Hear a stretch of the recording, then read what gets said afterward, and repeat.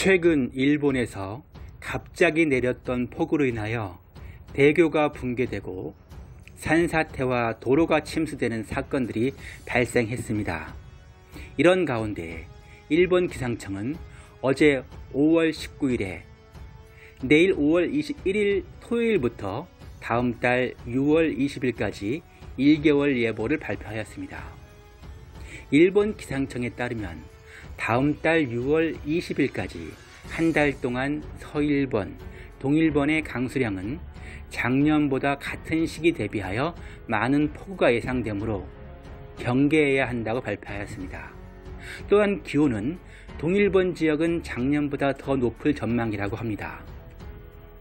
작년보다 더 많은 폭우와 더 기온이 높을 것이라면 작년에 일본을 살펴보면 일본 관동 지역은 장마 전선의 영향으로 작년 7월 1일부터 4월간 폭우가 쏟아졌으며 48시간 동안 내린 비의 양은 313m로 평년 7월 한 달 강수량 242.5mm를 뛰어넘었으며 시즈오카현과 가나가와현을 중심으로 최대 400에서 500mm의 폭우가 내렸습니다.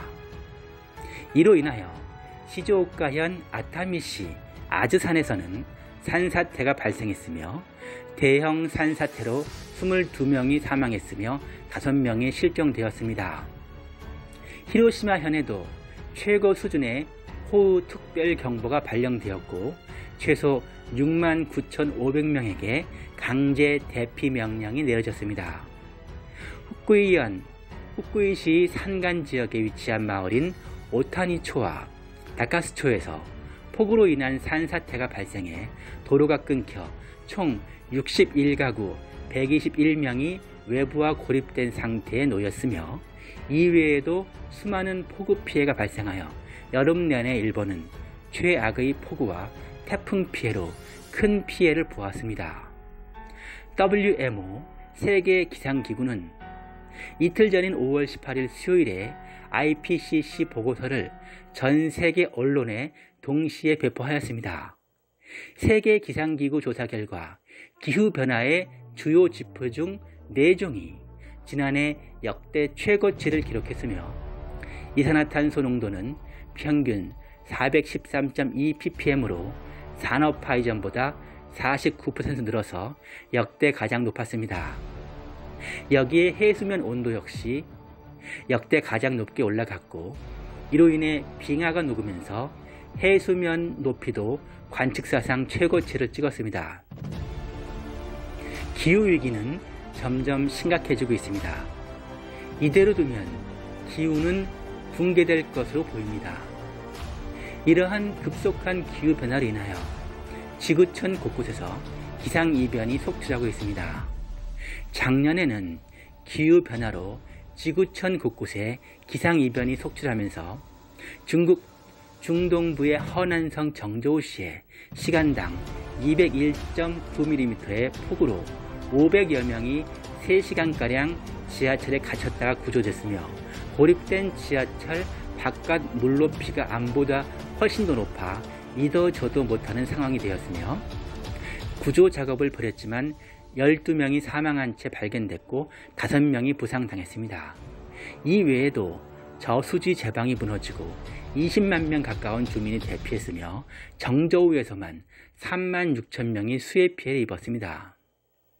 어제 5월 19일에는 폭우로 승객들이 타고 있던 중국 저장성 항저우시의 지하철 진사오역이 침수되는 등 피해가 속출했는데요.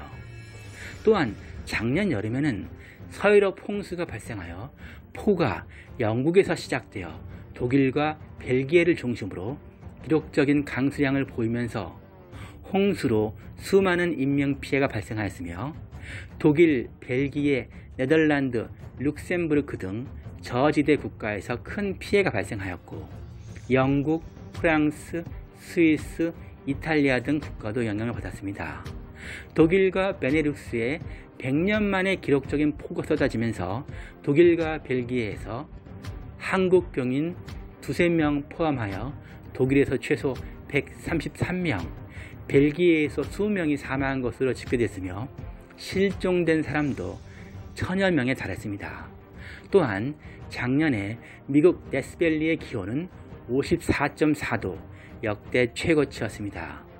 세계 기상기구의 5월 18일 발표대로 지구촌 곳곳에서 기상이변이 발생하고 있으며 그 이유는 기후 붕괴이고 화석 연료 사용을 끝내고 재성 에너지로의 전환에 속도를 내지 않으면 앞으로 더욱 심한 기상이변이 지구촌에 속출할 수 있습니다.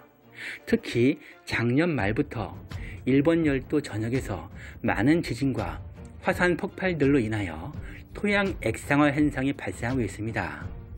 땅이 지진으로 액체가 되는 현상을 액화 현상 또는 액상화라고 합니다. 액상화란 용어는 1953년 일본 학자 모가미에 의해 처음 사용됐습니다. 연약한 지하수의 수위가 높은 모래 집안에 지진이 발생하면 집안 전체가 액체처럼 되는 현상을 말합니다. 이렇게 일본이 최근 지진과 화산 폭발로 인하여 토양 액상화 현상이 발생하고 있는 상황에서 일본 기상청은 오늘 내일 5월 21일 토요일부터 다음 달 6월 20일까지 1개월 예보를 발표하였습니다. 일본 기상청에 따르면 다음 달 6월 20일까지 한 달 동안 서일본, 동일본의 강수량은 작년보다 같은 시기 대비하여 많은 폭우가 예상되므로 경계해야 한다고 발표하였습니다. 또한 기온은 동일본 지역은 작년보다 더 높을 전망이라고 합니다. 5월부터 이렇게 많은 비와 폭염이 일본을 한 달 동안 강타할 경우 정작 7월과 8월에는 태풍과 함께 일본의 상상을 초월하는 대재앙이 불어닥칠 수 있는 일본의 최대의 위기 상황으로 보입니다. 얼마 전 내린 폭우만으로도 일본 전역에 도로 곳곳이 붕괴되는 사고들이 발생하였으며 도로 복구 작업도 늦어져서 많은 피해가 속출하고 있습니다. 또한 일본 미해현에서는 20m 규모의 낙석과 토사 붕괴가 발생하였습니다. 이런 가운데 최근 일본 후쿠시마에서는 계속하여 연속 지진들이 발생하고 있습니다. 만약에 또 한 번의 후쿠시마 강진이 발생할 경우 3월 16일에 발생한 후쿠시마 규모 7.4 강진 당시처럼 도로나 다리, 건물에 균열이 생기고 반전 단수가 되고 후쿠시마 원전이 안전하지 못할 수 있습니다. 두 달 전 3월 16일 후쿠시마 규모 7.4 강진 당시와 지금은 상황이 전혀 다릅니다. 그동안 계속하여 후쿠시마 지역에 지진들이 발생하면서 후쿠시마 지역의 토양 액상화 현상이 더욱 진행되었으며 이로 인하여 이제는 만약 규모 7클래스의 강진이 또 한 번 발생한다면 지난달 3월달처럼 도로나 다리, 건물에 균열이 생기는 정도가 아니고 더욱 큰 참사가 발생할 확률이 매우 높아 보입니다. 여름에 발생하는 후쿠시마 지역의 지진과 봄에 발생하는 후쿠시마 지역의 지진은 그 영향이 전혀 다를 것입니다. 시청해 주셔서 진심으로 감사드리겠습니다. 구독과 좋아요, 알람 설정을 꼭 부탁드리겠습니다. 이 채널을 운영하는 데 큰 힘이 됩니다. 감사드립니다.